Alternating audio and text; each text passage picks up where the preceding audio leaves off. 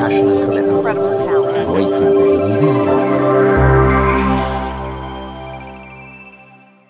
AOL Creative Voices is very pleased to welcome Jonathan Sackett, Managing Director of Content for Ogilvy North America and Chairman of the International Association of Internet Practitioners. Jonathan, welcome. Thank you.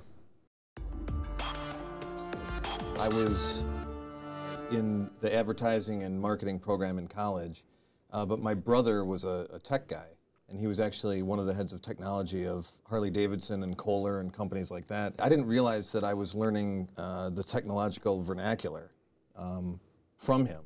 So I think digital was a natural fit because it was kind of the, back then it was the, hopefully it still is, the marriage of technology with marketing and advertising. So you know, I found uh, instantly that I could talk with the tech guys and make sense of it. So I, I, think initially I was almost more of a translator than anything. You know, so you get the account people who weren't speaking the same language as the creative people who weren't speaking the same language as the tech guys. So I was almost that weird hybrid in the middle of all three groups. One of the first uh, digital agencies, uh, it was in Milwaukee and New York, which is, seems odd, but uh, they were called Spectracom. And we did all the first websites for companies that, which you know you and I will probably remember, and no one else will. But Warner Lambert, uh, Parke Davis. I did the first. My team and I did the first website for Perdue Farms. Uh, we actually sat at the table with Jim and Frank Perdue. and I remember them asking me at the time, you know, well, why why do we need a website? And I said, well, you know, I don't know. This is what we do. So you know, I, I, back then nobody had websites. So then Harley Davidson and Kohler. Um, back then it was just about web builds you know. Um, and really what it came about that was then. when? Early 90s? Yeah, that was around 94, 95. And back then it was digital only. You know, there was no hybrid agencies really that did both. Um, and from there I moved to Chicago and became the first digital employee for Townsend Agency. Each step along the path has had a victory, you know, one that kind of defines you. You know, when I was with uh, Draft, uh, which became Draft FCB, um, I think it was the, the milk account and ultimately the My M&Ms, where you could write on the candy.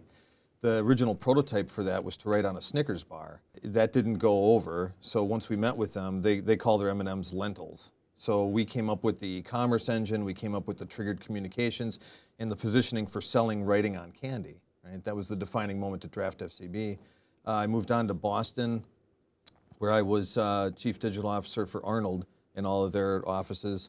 And there, the defining moment was the islands of the Bahamas. Um, and really, that was more about you know changing it from digital destination to digital infusion. You know, a lot of it came from you know how do you attract the bots, right? The kayaks of the world and things like that. Because people don't just go to Bahamas.com, right? You're looking for vacation, sun and sand, things like that. So that was more about building a, a digital ecosystem think. And, and you know, ecosystem's a little bit overused, but, but I think that was really the turning point, was we found a way to create a digital footprint for the Bahamas.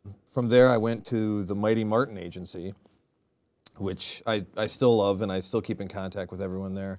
Um, there we did Geico, we did Walmart, we did UPS, we did all those things. And I think the turning point there, which you're familiar with, uh, with was We Choose the Moon, uh, which was the JFK Memorial.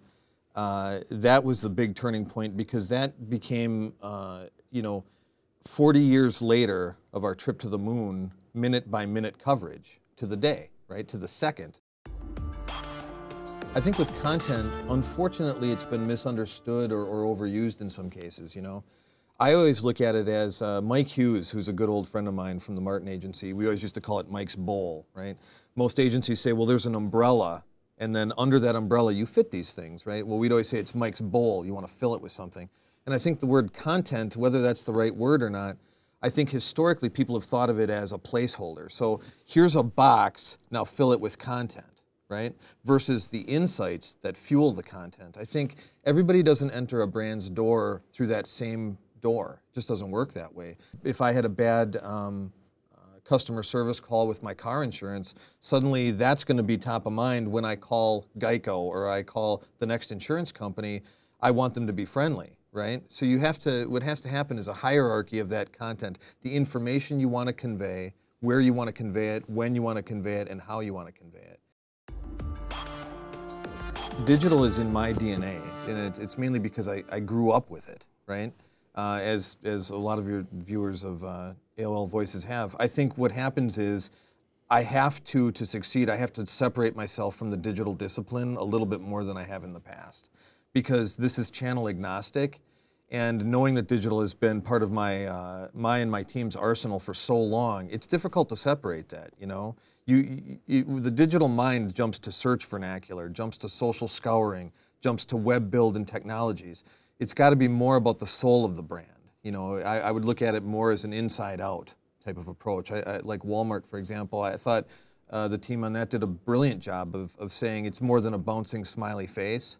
It was backing up from that to say, you know, it's it's to us it's part it's it's more about being friendly and it's not the money you save, it's the time. So getting into that positioning, if I back into it through search vernacular, great. But I think it's got to be more uh, or less more or less channel agnostic than it has before in my career. Starting with my family, uh, my, my parents and my brother, which uh, probably sounds strange, but my, my brother being a tech guy, you know, I, like I said earlier, you don't realize that you're learning something until you have those conversations, and sometimes you don't realize it then. My parents also, you know, they taught me simplicity uh, rules the day because my parents are not tech whizzes. And back in the day when we were building all these first websites, what we would do is we would literally have my parents take a look at them to see if they could figure them out or navigate them, you know. And we, we would call it being uh, Richard and Kathy proof. Um, but that helped, that helped ground me. It really did. Um, over the years, obviously, you've been a mentor to me, so it's out Thank there you. now. And uh, one of the things that you taught me was uh, to listen first and then talk. Um, and I think that's really important. Everybody has something to say. You know, uh, it's a line in a song, listen to fools and sages, right? Everybody's got an opinion, everybody's got a point of view. Um, John Adams at the Martin Agency, uh, you know, he taught me to stay above a lot of the negativity that can be in this industry. Uh, unfortunately, you know, I think there's an insecurity at agencies, at people at agencies, at some people that work at these agencies. What ends up happening is that insecurity bleeds into social media. So, you know, I'll read about a colleague of mine who got promoted and somebody's got to knock him down a notch or two. You know, it, it happens. But John, uh, John Adams has always been so far above that and, and such an inspiration to me because, you know, he says, yeah, don't listen to that stuff. What's, what's the prize? You know, you always say, what's the win? John says, what's the prize? What are we after? What are we trying to do? Anything else is in the way. And I think that's pretty much what everybody's taught me. My parents had never been to France, and I really wanted to bring them there. And I was so fortunate that uh, I knew people there, of course, so I could get my parents on the guest list to a lot of these parties. And uh, I brought my not only brought my parents to Cannes, I brought them to the awards, I brought them to the parties. And you know, my, my parents grew up in Beaver Dam, Wisconsin, if you've ever heard of that. And we moved to Menomonee Falls, which was a suburb of Milwaukee. So my parents are uh, very good people, very solid people, and you know, very small town. They're happy there. They, they, they like that atmosphere. So bringing them to Cannes was like taking them to you know the moon for for people like you and me. But they really enjoyed it, and the number of people that came up and introduced themselves to my parents, chairman of some of the holding companies and old bosses and friends of mine. I mean, they were the the belles of the ball, just because people knew that they'd never been to something like that. So at the end of it, I, I went from you know people questioning why I would bring my parents to people going, "Oh my God, that was so cool to meet your parents," you know. You can't teach somebody to be hungry for something. You can only capitalize on their strengths. And uh, you know, I work with students a lot, um, through the, both through the association and through the you know, I, I give a lot of speeches. What I find that oftentimes is that their their hunger is misplaced because it hasn't been guided. Guided. You know, they're learning what they're learning from textbooks and from professors who you know may or may not be too close to the industry and what we're doing. I think that finding their passion and applying it is probably what I do better than than just simply give them the hunger. You know, I'm working with some students right now uh, at, at Ogilvy at, at the corporate office here in New York, and, and what they're, they're some of the things that they're learning are good, but they're not able to apply it. You know, everybody, if you watch a TV commercial, we all have an opinion. If you visit a website, you have an opinion of it. I don't think that people are realizing how to capitalize on your hunger for what you were really looking for. I don't go to geico.com every day. I, I go to google.com every day. I go to AOL every day and AOL properties, Huffington Post.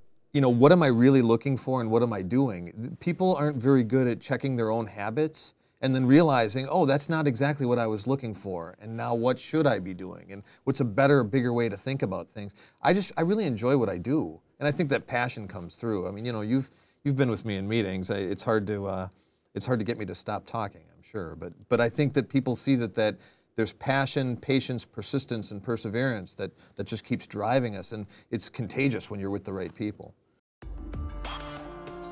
You know, it was amazing to me a few years back when, when I co-founded it with, uh, with my partners that it didn't exist.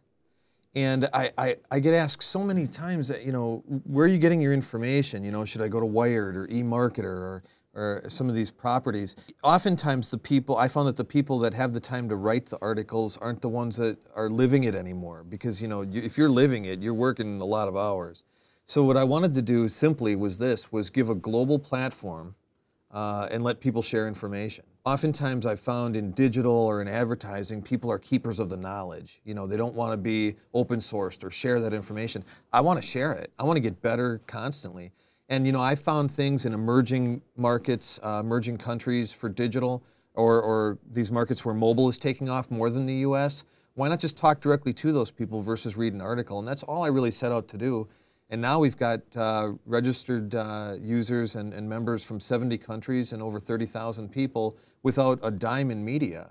It's just, it's, it's interesting to me that people were looking for something that didn't exist, so all we did was create it. Especially nowadays with social media, right? That's the other buzz. People are forgetting how dangerous it can be, you know? And I think um, one of the things that I heard, uh, I think it was from Spider Man, if I remember correctly, it was uh, with great power comes great responsibility.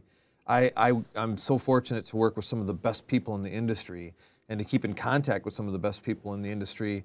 But we have a responsibility, you know. Um, the, you know, there's there's sexting going on. There's um, people putting up pictures of themselves and doing things that you might not that you put that out there, that's forever. Mm-hmm. And I think that we have to teach people, look, you know, have fun, and the internet is a great place, and mobile is a great thing to use.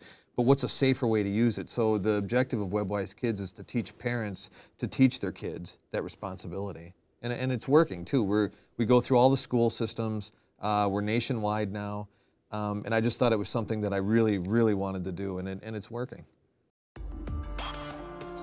AOL should not be a surprise to anyone. And, it, and it's a surprise to people. You know, uh, I think the Huffington Post was, was a good move. I think the hyper-local targeting that AOL now has is, is huge because Google can't do things like that. You know, it, um, depending upon who you ask, there's entities out there that think they can do it. They really can't. And really localizing that web is what's exciting to me. I think that's, to me, that's the biggest power that AOL has is that that hyper localization. Because again, how oftentimes are you doing just a simple search or trying to look for something in your neighborhood, and then it's going to the vastness of the internet? You know, that's talk about a needle in a haystack. It's unbelievable. To me, that's that's the future. Is that hyper local targeting and what we used to refer to as wearable web, right? So those web applications that stick with you and help you in store and help you online, not just disappear once you do a search.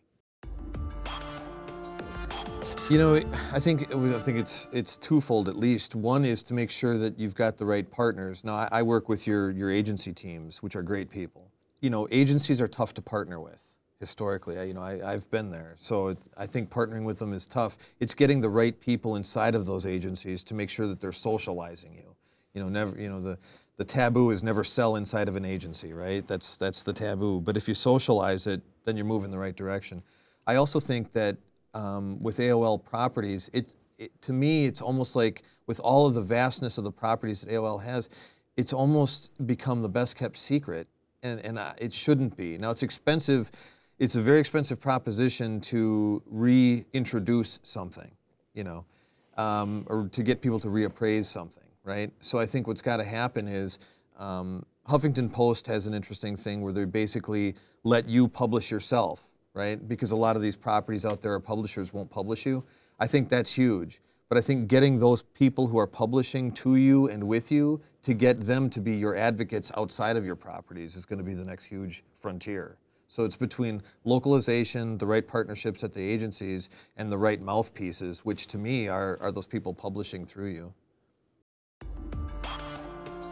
One of them is, is uh, the promise of mobile in the United States.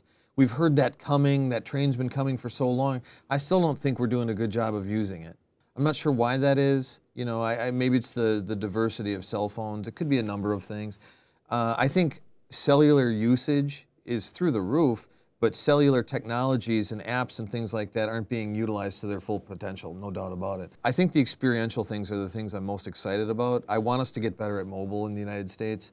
But I think, I really honestly believe that the experiential things, um, getting, you know, we had built a prototype not too long ago where I could actually interact with that television commercial. So there was a famous actor we used for a credit card company, so I, I, won't go into details, but he throws something at the screen and I catch it on my cell phone. I think that cell phone interaction in an experiential format with television and with these other third screens, I think that's the frontier.